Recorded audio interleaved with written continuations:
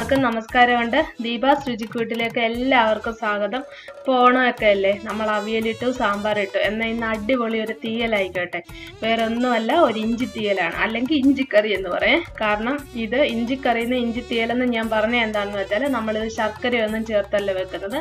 സാധാ രീതിയിൽ തേങ്ങ വറത്തരച്ച് ഇഞ്ചിക്കറിയാണ് തയ്യാറാക്കുന്നത്. ഞങ്ങളുടെ നാട്ടിൽ പത്തനംതിട്ടയിൽ ഈ രീതിയിലാണ് ഇഞ്ചി തീയൽ വെക്കുന്നത്. അപ്പോൾ ഇതിന്റെ റെസിപ്പിയിലേക്ക് കിടക്കാം. ആദ്യം തന്നെ നമുക്ക് ആവശ്യമായത് പ്രധാനമായിട്ട് ഇഞ്ചിയാണ്. അത് നല്ല വലിപ്പമുള്ള രണ്ട് കഷ്ണം ഇഞ്ചി എടുത്തിട്ടുണ്ട്. അതിനുശേഷം പത്ത് പീസ് ചുമന്നുള്ളിയാണ് എടുത്തിരിക്കുന്നത്. ആവശ്യത്തിന് കറിവേപ്പില എടുത്തിട്ടുണ്ട്. ഒരു നെല്ലിക്ക വലിപ്പത്തിനുള്ള പിഴുപുളിയാണ് എടുത്തിരിക്കുന്നത്. അതായത് പിന്നെ വാളംപുളി. അതിനുശേഷം ഒരു ഉണക്ക തേങ്ങ രണ്ട് കഷ്ണം എടുത്തിട്ടുണ്ട്. ഒരു രണ്ട് പച്ചമുളക് എരിവുള്ള പച്ചമുളക് മൂന്ന് കഷ്ണം വെളുത്തുള്ളി. ഇത് ഇത്രയാണ് നമുക്ക് ഇതിലേക്ക് ആവശ്യമായ വെജിറ്റബിൾ ആയിട്ടുള്ള സാധനങ്ങൾ. കേട്ടോ? ഇനി കണ്ടല്ലോ ഉള്ളി ഇതുപോണക്ക് വട്ടത്തിലരിഞ്ഞു നമ്മുടെ പച്ചമുളക് ഇതുപോണക്ക് വട്ടത്തിലരിഞ്ഞു നമ്മുടെ തേങ്ങായി ഇതുപോണക്ക് പായസത്തിലൊക്കെ ഇടുന്നോണക്ക് കുനു കുന കുനാന്നരിഞ്ഞു വെച്ചിട്ടുണ്ട്. അപ്പോൾ ഉണക്ക് തന്നെ നമ്മുടെ പുളി കണ്ടല്ലോ ഞാൻ ഈ ഒരു ലേശം ഉപ്പ് ഇട്ട് വെള്ളത്തിലിട്ടേക്കും ആ പുളി കുതിരാൻ വേണ്ടി കേട്ടോ. ഇപ്പം നമ്മുടെ തേങ്ങ ഇതുപോണക്ക് ചെരുകി എടുത്തിട്ടുണ്ട്.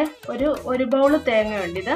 അത് ഞാൻ ചെരുകി എടുത്ത് വെച്ചിട്ടുണ്ട്. കണ്ടല്ലോ നമ്മുടെ വെളുത്തുള്ളി ഇഞ്ചിയും കൂടി ഇതുപോണക്ക് കുനുകുനാന്ന് അരിഞ്ഞു വെക്കണം. കണ്ടല്ലോ അരിഞ്ഞു വെച്ചതിന് ശേഷം ഒരു പാനിലേക്ക് ഇട്ടിട്ട് നമ്മൾ ഇതിനോടൊപ്പം തന്നെ ആ തേങ്ങയും കൂടി ഇടുവാണേ. അല്ലാതെ ഇഞ്ചിക്കറി വെക്കുമ്പോൾ നമ്മൾ സെപ്പറേറ്റ് ഇഞ്ചി വറുത്ത് കോരിയൊക്കെയാണ് ചെയ്യുന്നത്. ഇതിങ്ങനെ ചെയ്താൽ മതി. ഒരു അടിപൊളി ടേസ്റ്റ് കേട്ടോ. നമ്മൾ ഒരു രണ്ട് ടേബിൾ സ്പൂൺ വെളിച്ചെണ്ണയും കൂടെ ഒഴിച്ചിട്ട് ഇതിനെ നന്നായിട്ട് മൂപ്പിച്ചെടുക്കുകയാണേ കണ്ടോണേ? ഇതിന്റെ മൂപ്പെല്ലാം പ്രത്യേകം ശ്രദ്ധിച്ചോണം. അതുകൊണ്ട് തന്നെ നമ്മൾ ഇത് ഇട്ടിട്ട് വെളുത്തുള്ളി ഇട്ടത് കാരണം നന്നായിട്ട് ഇളക്കി കൊടുക്കണം. അല്ലെങ്കിൽ വെളുത്തുള്ളി പെട്ടെന്ന് കരിഞ്ഞു പോകും കേട്ടോ. ഇത് നന്നായിട്ട് നമുക്ക് ഇളക്കി കൊടുത്ത് ഒരു ഏഴ് എട്ട് പത്ത് മിനിറ്റോളം വേണം നന്നായിട്ട് ഇത് മൂത്ത് കിട്ടാൻ. ഒരു പതിനഞ്ച് കുരുമുളകും കൂടി ഇട്ട് കൊടുത്ത്. കുരുമുളകും കൂടി ഇട്ട് കൊടുത്ത് അത് മുഴുവൻ കുരുമുളക് ഇട്ട് കൊടുക്കണം. എന്നാലേ അതിന്റെ ടേസ്റ്റ് നമുക്ക് മനസ്സിലാകത്തുള്ളൂ ഒരു പകുതി മൂത്തതിന് ശേഷം ഇട്ടാൽ മതി. രണ്ട് ടീസ്പൂണോളം മല്ലിപ്പൊടി. അത് നിറച്ചല്ല ഒരുമാതിരി പരുവത്തിന് മല്ലിപ്പൊടി ചേർത്ത് കൊടുത്തു. അതിനുശേഷം ഒരു ഒന്നര ടീസ്പൂണോളം മുളക് പൊടി ചേർത്ത് കൊടുക്കണേ. അത് കാശ്മീരി ചില്ലി പൗഡറാണ്. ഒരു കാൽ സ്പൂണോളം മഞ്ഞപ്പൊടിയും ചേർത്ത് കൊടുത്തു. ഒരു കാൽ സ്പൂണോളം കായപ്പൊടിയും കൂടെ ചേർത്ത് കൊടുത്ത്. ഇത്രയും ചേർത്തിട്ട് നന്നായിട്ടൊന്ന് ഇളക്കി കൊടുക്കണം. കാരണം നമ്മൾ പൊടികളിട്ടിട്ട് ഇളക്കാതിരിക്കല്ല അടിക്ക് പിടിച്ച് കരിഞ്ഞു പോകും. കണ്ടത് തീയും അതുകൊണ്ട് തന്നെ ലോയിലാക്കി ഇട്ടിട്ട് വേണം നമ്മൾ ഇളക്കി കൊടുക്കാൻ. അത് ആ അര പൊടിവകളെല്ലാം തേങ്ങ ഉൾപ്പെടെ തണുത്തതിന് ശേഷം നമ്മൾ മിക്സിയുടെ ജാറിലേക്ക് ഇട്ട് ഒത്തിരി വെള്ളം ഒഴിക്കാതെ തന്നെ ഇത് നല്ല പേസ്റ്റ് രൂപത്തിൽ അരച്ചെടുക്കണേ.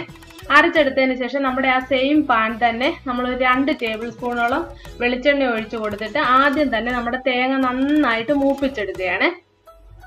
തേങ്ങ ഒരു പകുതി മൂത്ത് വരുമ്പോൾ തന്നെ നമ്മൾ അതിലേക്ക് കടുവ് ചേർത്ത് കൊടുക്കണം. തേങ്ങ പകുതി മൂത്തിട്ട് കടുവ് ചേർത്താൽ മതി. അല്ലെങ്കിൽ തേങ്ങ ആദ്യം കടുവ് ചേർത്ത തേങ്ങ മൂക്കുമ്പോഴത്തേന് കടുവ് കരിഞ്ഞു പോകും കേട്ടോ. ഓരോ സംഭവത്തിനും കടുവ് ചേർക്കേണ്ട ഓരോ രീതികളുണ്ട്. അതനുസരിച്ച് ചേർത്ത് കൊടുക്കണം. തേങ്ങ പകുതി മൂത്തതിന് ശേഷം കടുവ് ചേർത്ത് കൊടുത്തു. കടുവ് പൊട്ടിക്കഴിഞ്ഞപ്പോഴത്തേന് നമ്മൾ ആ ചുവന്നുള്ളി ഒന്ന് ചേർത്ത് കൊടുത്തു. കാരണം തീയലല്ലേ? വെളിയിലിരിക്കേണ്ടതല്ലേ രണ്ട് മൂന്ന് ദിവസം നമുക്ക് കൂട്ടേണ്ടതല്ലേ? അതുകൊണ്ട് ചുവന്നുള്ളിയിലെ വെള്ളം നന്നായിട്ട് പറ്റണം. അതുകൊണ്ട് കണ്ടല്ലോ. അതുകൊണ്ട് തന്നെ ഈ വട്ടത്തിലായിരുന്നു ചുവന്നുള്ളി കണ്ടോ? ഒന്നേലൊന്നേ തൊടാതെ വിട്ട് വിട്ട് വരുന്നത് കണ്ടല്ലോ? ഇത് ഓണക്ക് വിട്ട് വന്ന് നന്നായിട്ട് മൂക്കണം. ഇനിയും പച്ചമുളക് കറിവേപ്പിലയും കൂടെ ഒന്നിച്ച് ചേർത്ത് കൊടുക്കാം. അത് നന്നായിട്ടൊന്ന് വെള്ളമയം പറ്റുന്നത് ഓണക്ക് നന്നായിട്ട് മൂക്കട്ടെ അതല്ല പകുതി മൂത്ത തേങ്ങ ആയതുകൊണ്ട് ഈ സമയമായപ്പോഴത്തേന് തേങ്ങ നന്നായിട്ട് തന്നെ മൂത്ത് വന്നിട്ടുണ്ട്.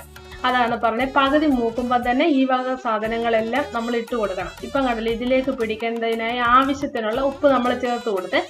കാരണം നമ്മൾ ഉപ്പ് നമ്മുടെ പുളിക്കകത്ത് ചേർത്തിട്ടുണ്ട്. അതുകൊണ്ടാണ് പുളിക്ക് ചേർത്ത ഉപ്പിന്റെ അനുസരിച്ച് വേണം നമ്മൾ ചേർത്ത് പുളി കല്ലൊക്കെ ഉണ്ടല്ലോ അതുകൊണ്ട് നന്നായിട്ടൊന്ന് അരിച്ച് വേണം പുളി ചേർത്ത് കൊടുക്കാൻ.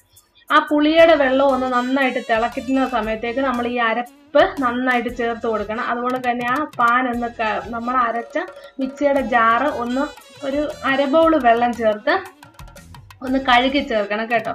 ചേർത്ത് ഇത് നന്നായിട്ട് തിളച്ച് പറ്റണം. പറ്റി ആ എണ്ണമയം നമ്മുടെ ഇതിന്റെ മുകളിൽ കുറുകി വരണം. ഈ തീയലിന്റെ മണ്ടയിൽ നന്നായിട്ട് തെളിഞ്ഞ് കാണണം കണ്ടല്ലോ.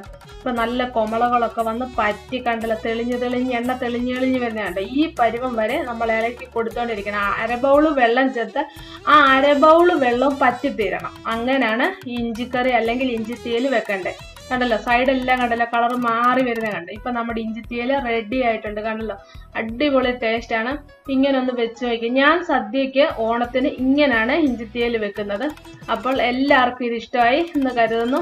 കഴിഞ്ഞ തവണ ഞാൻ ശർക്കര ചേർത്താണ് വെച്ചത്. അത് നമ്മുടെ ദീപ സുചിക്കൂട്ട് ചാനലിൽ തന്നെയുണ്ട്. അന്നേ ഞാൻ പറഞ്ഞിരുന്ന എല്ലാവരോടും ശർക്കര ചേർക്കാതുള്ള രീതിക്ക് ഞാൻ ഇഞ്ചിത്തീയൽ വെച്ച് കാണിക്കാമെന്ന്. അപ്പൊ കണ്ടല്ലോ എനിക്കൊക്കെ ഇഷ്ടം ഈ ശർക്കര ചേർക്കാതെ ഇങ്ങനെ ഉള്ള ഇഞ്ചിത്തീയലാണ് എനിക്കൊക്കെ ഇഷ്ടം. വീട്ടിലെല്ലാവർക്കും അത് തന്നെയാണ് ഇഷ്ടം. അപ്പോൾ ഇതിന്റെ റെസിപ്പി എല്ലാവർക്കും മനസ്സിലായെന്ന് കരുതുന്നു. കണ്ടല്ലോ ഈ തേങ്ങാക്കൊത്ത് ഇടുന്നത് കാരണം ഇടയ്ക്കിടയ്ക്ക് ആ തേങ്ങാക്കൊത്ത് കടിക്കുന്ന ഒരു പ്രത്യേക ടേസ്റ്റാണ് കേട്ടോ. അപ്പോൾ എല്ലാവരും ഈ രീതിയിൽ ഈ തവണത്തെ ഓണത്തിനൊന്ന് വെച്ച് നോക്കുക അഭിപ്രായങ്ങൾ അറിയിക്കുക.